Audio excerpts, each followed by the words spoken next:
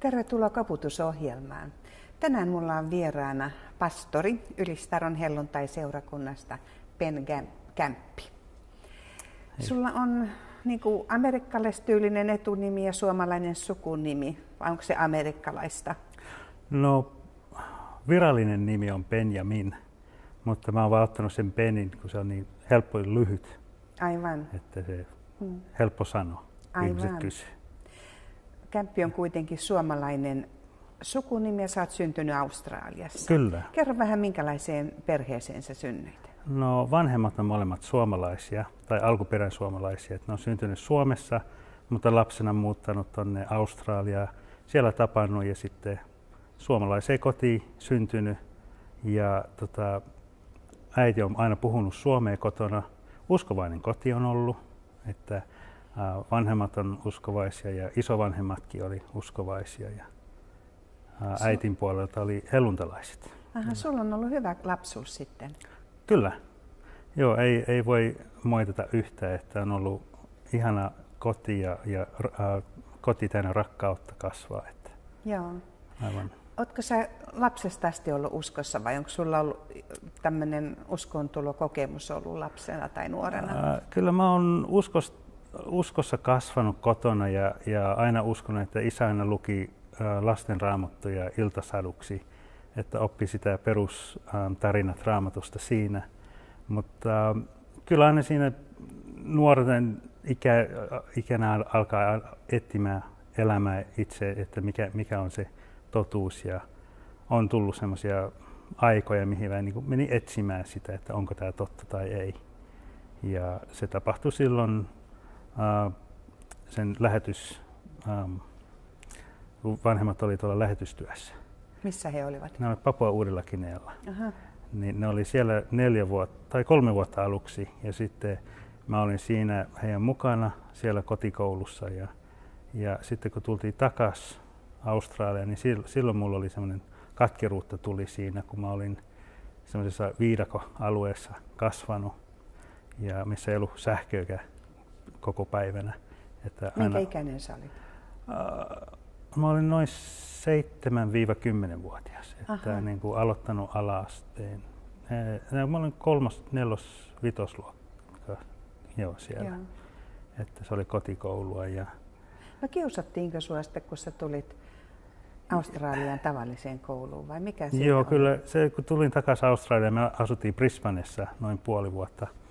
Ja sinne mä menin kouluun ja siellä, kun mun tavat oli vähän erilaisia, niin musta tuli semmoinen apinapoika, kutsumaan semmoiseksi manki, että kun mä olin vähän semmoinen erilainen, en ollut kasvanut siinä sivistyksessä ja oppinut vähän omia tapoja, en, en, en niin edes tiedä mitä ne olivat. Mutta Aivan. Että vaan semmoinen huono muisti, että joku päivä mä tulin vaan kotiin ja heitin laukun sinne huoneen kulmaan ja sanoin, että mä en enää mene kouluun. Että sitten isällä ja äitillä oli vähän hankaluuksia siinä, että mitä seuraavaksi jatketaanko kotikoulua tai pitääkö muuttaa toiseen paikkakuntaan. Ähm, muutettiin toiseen paikkakuntaan ja menin semmoiseen kristittyyn kouluun, missä oli paljon mukavampi sitten olla. Hmm. No, oliko, jäikö sulle siitä sellainen kuva lapsuudessa, että se oli uskon syytä, että sä voit niin huonosti sitten kun te No joo, se tuntui, että kun Papua Uudellakin oli niin ihana asua, kun oli semmoista vapautta ja, ja kaikki, kaikki ihaili, että oli eri väristä, um, kun olit siellä. Niin sitten kun tulin takaisin Australiaan, niin se oli semmoista vaikeaa, että miksi minulta otetaan hyvä pois. Ja sitten mulla oli niin vaikea sopeutua takaisin sinne. Tuntui, että ketkä mun kaverit oikeasti ovat ja se oli hyvä, kun mulla oli monta serkkuu siellä, niin serkut automaattisesti oli perhettä, niin ne oli mun parhaita ystäviä siellä silloin. Ja se on, se teki vaikeaksi sen tämä uskojuttu siinä, että mun vanhemmat, niin kuin heitä kunnioitettiin tosi paljon, kun he olivat lähetystyö tässä ollut. Ja mä vaan näin sen toisen puolen siitä, että mä olin niin kuin hävittänyt elämästä osan. Että mä, mulla ei ollut sitä tasasta kasvatusta Australiassa, mutta mulla oli otettu se pois, mistä mä tykkäsin Papua-Uudella Joo, toi on varmaan hyvin tuttua lähetyssaarnaajien lapsille tuommoiset kokemukset. Varmaan, joo. joo. No tota, missä vaiheessa sun usko niin kuin vahvistuu ja juurtuu, että sä tänä päivänä oot tukevasti uskossa ja pastorina? No se varmaan alkoi siinä, kun 2000-luvun alussa tai 2001, mä en muista, että kumpi se oli, niin vanhemmat meni takaisin Papouudelle Kinealle. Niin mulle tuli semmoista vapautta, että nyt mä saan niinku omaa elämää elää, että vanhemmat ei ole koko ajan siinä katsomassa, että mitä poika tekee. Niin mä sain siinä pari vuotta silleen elää sitä elämää, mitä mä halusin. Ja sitten sen jälkeen 2003 niin mulla oli mahdollisuus tulla tänne Venäjälle, tai tuonne Venäjälle mun ukin kanssa, joka oli tuolla tehnyt tätä Love for Kids Russia-aktioa. Ja hän oli siinä ollut jo kymmenen, kymmenes vuosi. Ja se sanoi, että tämä on varmaan viimeinen vuosi, kun mä tuun, kun mä, hän oli sen ikäinen jo, että ei enää jaksa Australiasta asti pitää lentää. Niin mä sanoin, että mä voisin tulla mukaan tällä um, kerralla. Ja se oli jotain muutosta tapahtui siellä Venäjällä sen kahden viikon aktion aikana. Um, mä rakastuin niihin lapsiin, että se aitous, että ne rak- äh, näki, että ulkomaalta tulee ihmisiä heitä leik- leikkimään niiden kanssa, opettamaan heitä ja vaan olemaan heidän kanssa. Ja jotkut niistä oli orpoja, niin ei, kaikki niin kuin oli ihan niin kuin ihanaa heille. Ja se, mitä kosketti myös, oli se, että mun ukki, äitin isä, kun se leiripaikka, missä se oli, se oli tuolla Karjalan lähellä, Pietarin lähellä siinä, niin siellä oli tämmöisiä sodan aikana kaivettu, mitä nämä on näitä... Bunkkeria. Joo, bunkkereita, niin äh, mä en tiennyt, että ne oli niitä, mutta sitten se alkoi puhumaan, että nämä on bunkkereita sodan ajasta. Ja sitten se alkoi näyttää pui, puita, missä oli niin kuin ammuttu. Se, täällä oli sota ja hän oli ollut siinä sodassa mukana. Että hän oli silloin tullut sotimaan Venäjää vastaan. Mutta se sanoi, että kun Jumalan armo ja rakkaus muutti hänen sille, että hän halusi nyt tuoda sitä Jeesuksen rakkautta sinne, niin jotain silloin alkoi tapahtumaan omassa sydämessä, että tämä rakkaus, mitä hän tuo, ja hän niin kuin, sama paikka, missä on ollut aika kovat paikat aikaisemmin, niin hän pystyy näkemään yli sen ja tuomaan sitä Jeesuksen rakkautta niille lapsille, jotka näkivät, että ne vain ihaili, kun tämä iso isä oli ollut siellä jo kymmenen vuotta peräkkäin, niin muisti hänet hyvin. Aivan. Hmm. Ukki oli sulle rakas ja läheinen ihminen. Oli joo. Mä olin, mä olin asunut heidän luona, kun vanhemmat lähti tuonne Papua Uudelle Kinealle. Aivan. Ni, niillä oli iso omakotitalo, missä oli mulle omat, omat huoneet ja tälleen. Niin mä asuin Ukin ja mummon kanssa siellä Australiassa, että ne tuli läheiseksi ja niillä oli englannin kieli vähän heikompi, niin mä olin vähän niin kuin tulkkiin aina, kun heidän piti lääkärissä käydä tälleen, niin kasvoin tosi läheiseksi heidän kanssaan. Aivan. Mm. Ukki on jo mennyt taivaan kotiin. Kyllä.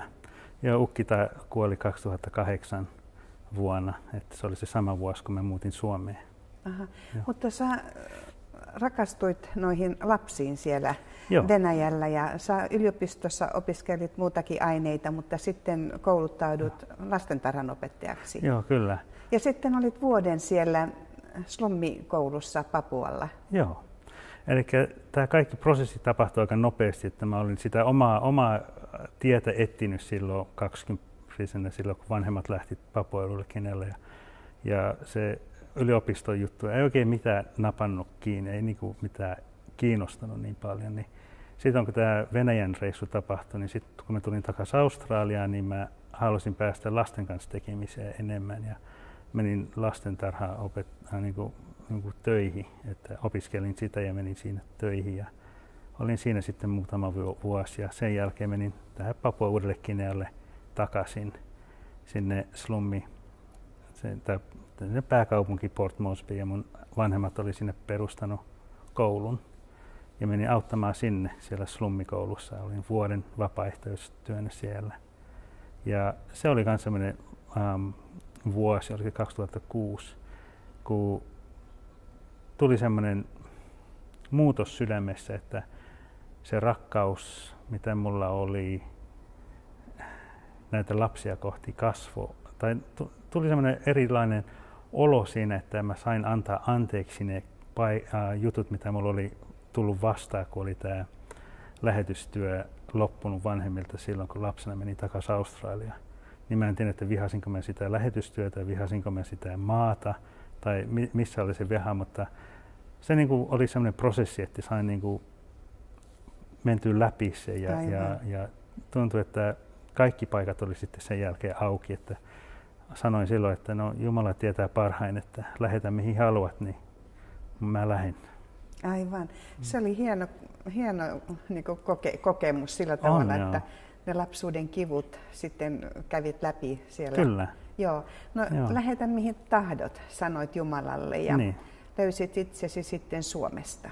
Joo, no mulla oli se prosessi, kun mä menin takaisin Australiaan sen vuoden jälkeen siellä slummissa, että ähm, raamattu alkoi kiinnostamaan enemmän ja enemmän ja raamattu kouluja aloin tutkimaan, että mikä olisi hyvä vaihtoehto. Mä katsoin vaihtoehtoja Australiasta, sitten mä aloin katsoa tuolta Aasiasta, että olisiko mitään siellä. Mutta ei mitään sille ei napannut, että olisi nyt tämä se oikea. Niin mä sanoin, no mä vaan teen töitä siihen asti, että löytyy se, mitä Jumala haluaa avata. Ja sitten 2008 mun vanhemmat oli tullut Suomeen kesäksi niin ne kysyi, että tuonko mä mukaan. Mutta kyllä mä voisin tulla mukaan, että en ole käynyt Suomessa. Se, se oli vi, viisi vuotta siihen ennen sitä, kun mä olin käynyt. Ja se oli vain pari viikkoa silloin, kun Suomessa olin. Niin tämä olisi ollut kolmen kuukauden reissu. Niin mä että joo, tu, mä tuun, että katsotaan mitä siellä avautuu, jos mitään. Tai hieno kokemus kuitenkin. Ja sen aikana löysin tämän, tai yksi tuttu oli tuolla isoskirjassa, ja hän, hän suosittelee, että aloittaisin sen englanninkielen kurssin tuolla isoskirjassa. Ja mä rukoilin asiasta ja oli semmoinen niin syvä äh, rauha asiasta. Niin mietin, että no tämä on Jumalan, se ovi, mitä Jumala on avannut, että minä, minä nyt jään tänne. Ja siitä se alkoi. Mm. Ja siellä oli yksi viehättävä nuori nainen sitten myöskin, Joo. jonka tapasit siellä. Ja... Joo, Hetafia aloitti isoskirjassa äh, vuoden sen jälkeen, että 2009 hän tuli sinne. Ja hänelläkin oli eri suunnitelmia, että hän piti mennä tuonne Mission nuoren, niin, äh, YWAMin nuorten kanssa tuonne Argentiinaan. Mutta Jumala sanoi, että mene nyt isokirjaan. Aivan. Niin sitten tota, siellä tavattiin ja 2010 mentiin naimisiin. Hmm. Ja oliko itsestään selvää, että jäätte Suomeen? Ää, ei kai ollut silloin. Mutta oli semmoinen, että me ollaan valmiita tekemään mitä Jumala, mihin Jumala haluaa viedä meidät, niin me otettiin aina askel kerralla ja tuntui, että ovet vaan aukesi silloin, kun hmm. oikeat ovet aukesi ja toiset meni kiinni, niin ostettiin ensimmäinen um, koti, tai se oli semmoinen pari täällä tuolla Seinäjoella. Ja asuttiin siellä muutama vuosi ennen kuin muutettiin Ylistaroon. Mm, ja nyt sä oot siellä pastorina. Kyllä. Ja teillä on pari lastakin. Kolme. Kolme lasta. Kolme tyttöä. Että meillä on Bella, yhdeksänvuotias, Lili, seitsemänvuotias ja Cindy, meidän vauvani, kaksipuolivuotias. Aivan. Mm.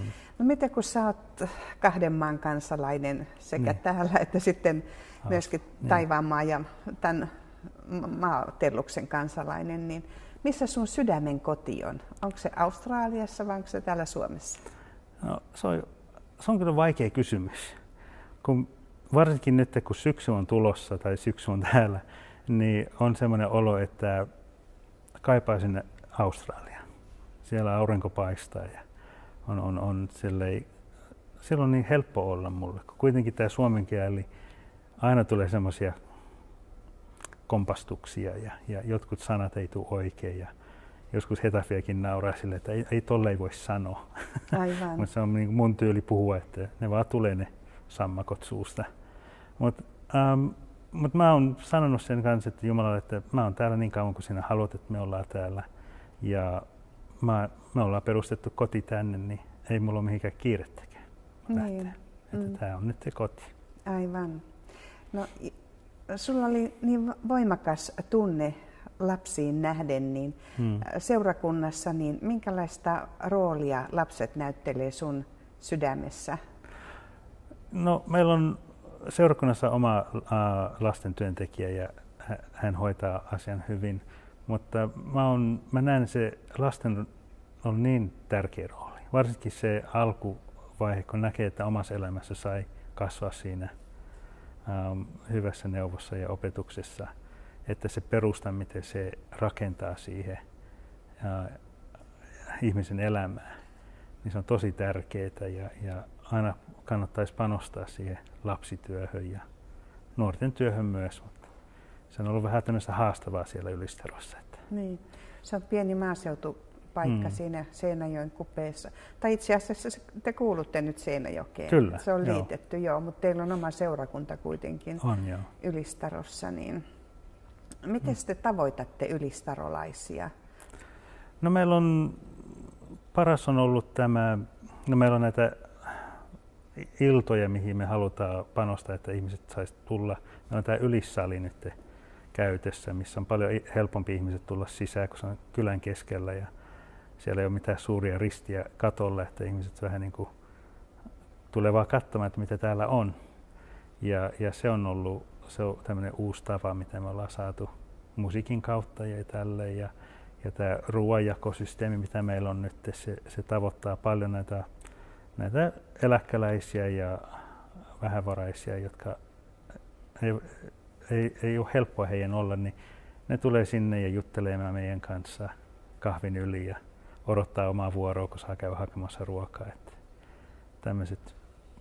Korona on vähän estänyt monet tavat, mitä me ollaan ennen tehty. Että ennen on ollut torikahviloita ja tämmöisiä enemmän ulos suuntautujia juttuja. Millainen unelma sulla on sun elämästä eteenpäin? Mistä, mitä Aha. haluaisit tehdä?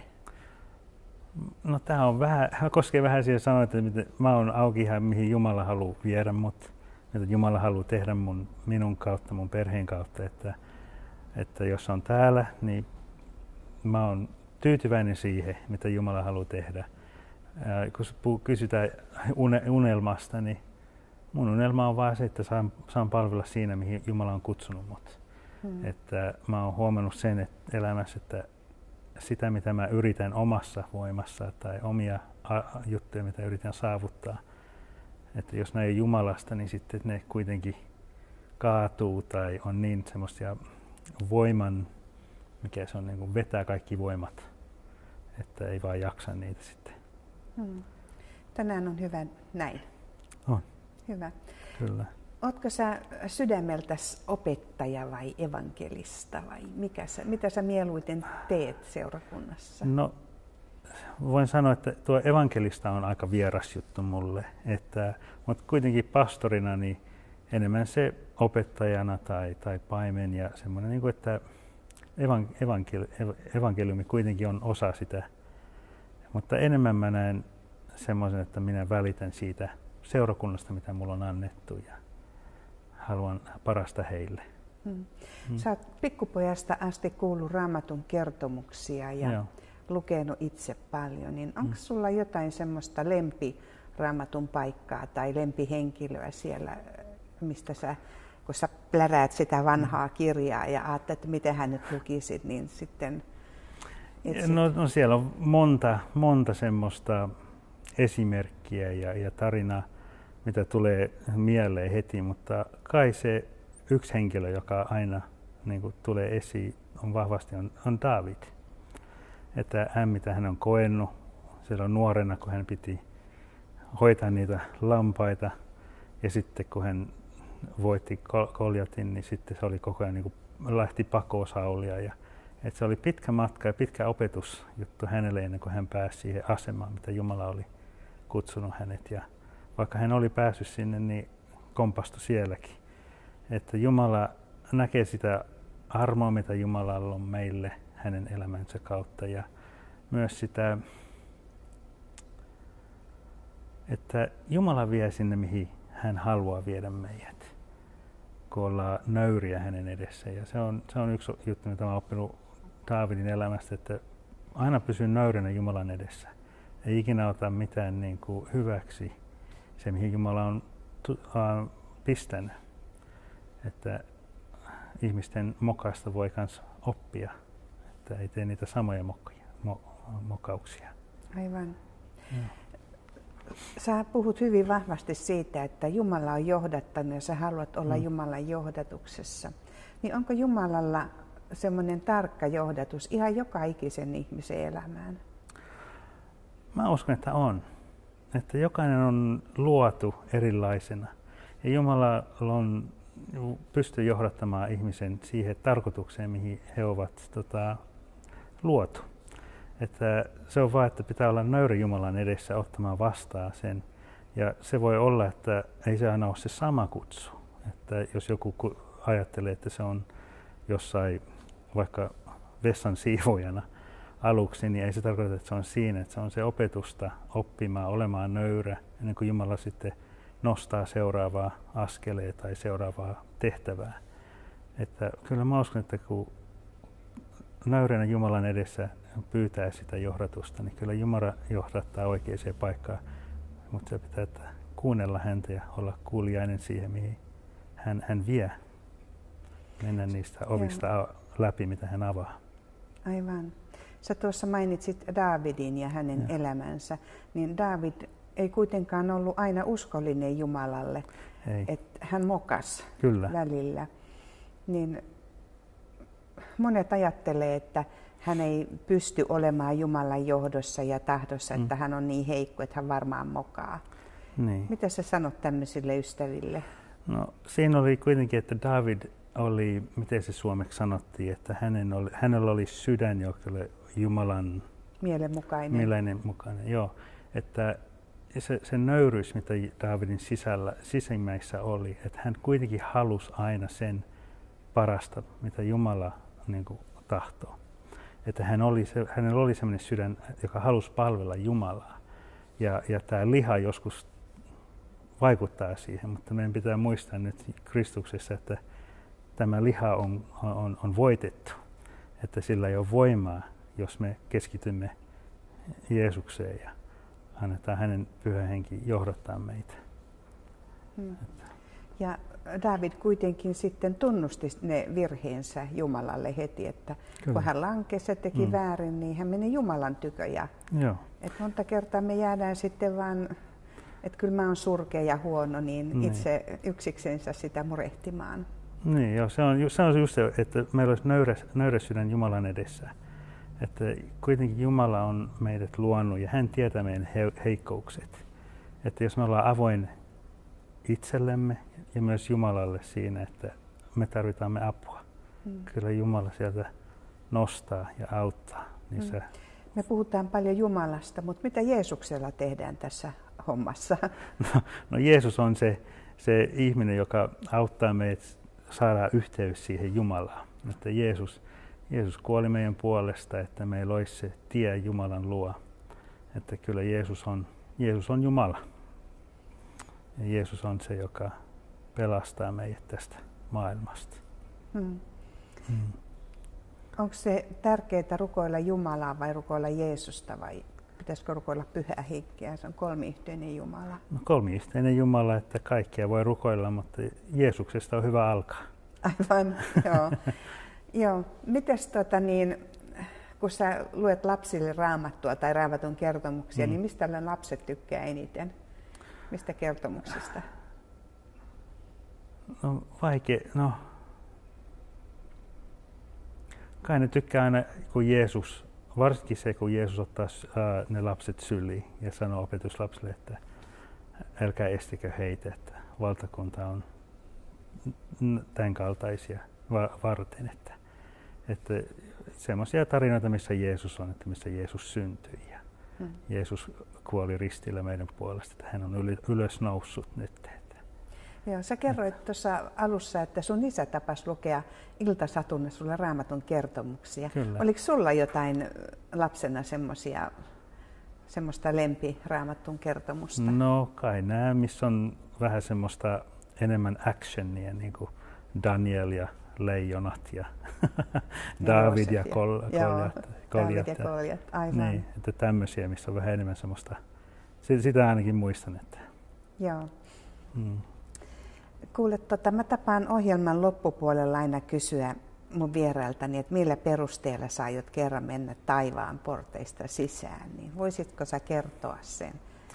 No se on usko Jeesus Kristukseen, että hän on kuollut mun puolesta, ylös noussut ja hänessä on voitto ja, ja mä oon saanut mun synnit anteeksi, kun hän meni ristille mun puolesta. Ja se on vaan usko häneen täysin, että mä pääsen taivaaseen.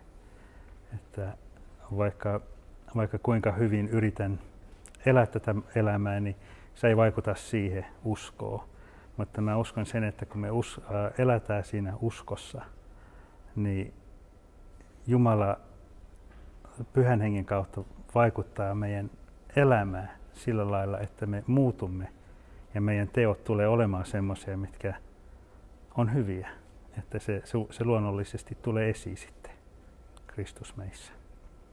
Ja onko toi tarjolla kaikille? Sä oot uskovaisesta kodista, mm. niin se, eikö se ole niin kuin ilman muuta selvää, että sä seuraat tätä tietä loppuun asti, mutta voiko semmoinen ystävä, joka ei näistä asioista ole lapsena kuullut, eikä nuorena eikä aikuisenakaan, mm. niin löytää tämän saman? Kyllä mä uskon, että pystyy. Tämä on kaikille tarkoitettu tämä evankeliumin sanoma. Tämä on hyvä sanoma, sitä me puhutaan, että meillä on hyvä sanoma, good news englanniksi sanotaan, että tämä vapauttaa. Se on, se on jännä, että ihmiset luulee, että raamattu on joku lakikirja, mutta se on semmoinen vapauttava kirja, joka vapauttaa meidät tästä maailmasta. Että tämä maailma on kuitenkin niin lyhyt aika, ja mitä ihminen elää 70, 80, 90 vuotta, niin se on niin lyhyt aika, kun ajattelee sitä iankaikkisuutta, että mitä tapahtuu sitten, kun lähdetään tästä maailmasta.